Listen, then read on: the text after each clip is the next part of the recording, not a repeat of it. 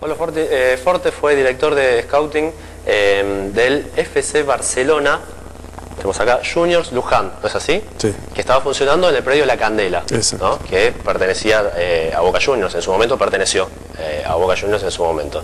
Eh, fue mucho tiempo de trabajo y obtuvo mucho reconocimiento lo que se logró allí, que, fue, que era la formación de los chicos, era la cantera, digamos, o la masía, como se le dice ¿no? a la cantera de Barcelona allá en España, era la masía en Argentina, en Barcelona. La idea era hacer una cantera global. Ah, Nosotros tuvimos el, eh, el- la posibilidad de, a través de Mark Ingla y Ferran Soriano, eh, por supuesto a través de la, de la gestión del presidente Joan Laporta, el secretario técnico Chiqui Beristain, de recibir eh, la posibilidad, yo estaba siendo en ese momento el ojeador del Barça para Argentina, y, y desarrollar un proyecto de formación infanto-juvenil eh, en Argentina que iba a ser el primero de otros tantos. La idea era formar la cantera global. Eh, después, bueno, por, por decisiones eh, políticas se le puso punto y final al proyecto. Acá lo lindo sería aprovechar los conocimientos que, que- que tengo, la experiencia vivida y, y, por supuesto replicar lo más posible eh, los conceptos de- de- del Barça para formar sus propios futbolistas. Entonces, cuando los chicos están creciendo en una metodología de juego, en una metodología de, trabajo, cuando llegan a primera no se les hace tan conflictivo el debut en primera división. Por eso es que intentaremos lo antes posible poner en marcha nuestros captadores eh, por Capital y Buenos Aires y toda Argentina con unos lineamientos eh, que nos permitan contar lo más pronto posible con un, un plantel de primera división.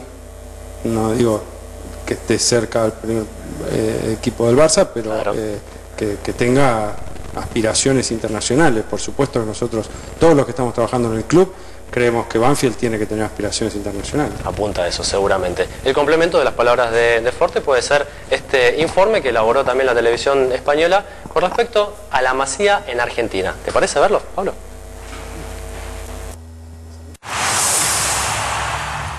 Eras una vez un niño prodigio que a los 5 años de edad comenzó a jugar al fútbol. Sin embargo, sus padres descubrieron que tenía una enfermedad. Llegaron a la Masía, la academia de jóvenes categorías del Barça, donde el niño sanó, se hizo hombre y maravilló al mundo. Para que los chicos argentinos no tengan que volver a abandonar su hogar, el Barcelona ha creado otra Masía en Buenos Aires, con la misma filosofía. Una auténtica fábrica de Messi. Desde luego, cantera no les falta. Tenemos los mejores talentos argentinos y no se mueven, no se van a club europeos. Se forjan aquí, en Buenos Aires. Aquí se forman como personas, estudian, reciben los mejores tratamientos médicos, un poquito la rodilla bien despacio, aprenden la nobleza del fútbol, buen comportamiento ¿sí? dentro del campo de juego. el juego del Barcelona, el tiquitaca, pero también el respeto al contrario, el honor. Y la formación de los valores ligados a la solidaridad son tan importantes, o diría que más importantes, porque en realidad sabemos que estamos formando personas. Jugadores ilustrados, educados y genios del balón. La Masía Argentina ya exporta talentos al Barcelona, mientras todos sueñan con ser el próximo dios argentino y jugar en el club de sus amores. ¿Sorprendido? Nunca lo había visto. ¿No? No, nunca lo había visto. De gentileza también del mundo globalizado, ¿no? Muchas gracias. Hemos estado buscando. No, nunca lo había visto. Eh, me parece que también representa un poquito qué es lo que se busca ¿no? con esta tarea. Eh, bueno, hablamos del Barcelona, ponen el ejemplo también en el informe de que todos quieren llegar a ser Messi, ¿no? con todo lo que eso significa y demás, pero también de la manera en que se trabaja para buscar eso, que por ahí no es llegar a ser Messi, pero quizá conformar un plantel profesional y demás. No solamente siendo un gran jugador, sino también respetando ciertos valores, ciertas conductas, ¿no? Me parece que eso también está bueno. Sí, lo importante es que eh, tanto los dirigentes como los, los padres, los chicos, todos los que integren este- esta ilusión, eh, me tengan un poquito de paciencia. Seguro. que vamos a salir mañana y, y nos vamos a formar. No vamos a tener a Messi en en No, no, no, obvio seguro no. que no, seguro que no. Lo importante que quieran sumarse Sí. van a ser bienvenidos. A mí me encanta que la gente quiera venir a, a sumarse, eh, eh, hincha de Banfield, con amor al club, eh, con pasión, con honestidad Eh, me encanta cuando la gente me llama para decirme que tiene un crack, para decirme que tiene un jugador que quiere traer.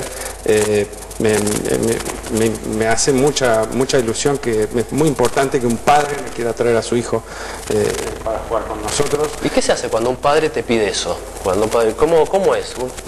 vienen y te dicen, no, no sé si un padre, pero también una persona, un allegado, te dice, mira, tengo el jugador que tiene que estar en Banfield. Bueno, nosotros tenemos, nosotros tenemos ciertos métodos que nos permiten evaluar qué futbolista sí y qué futbolista no.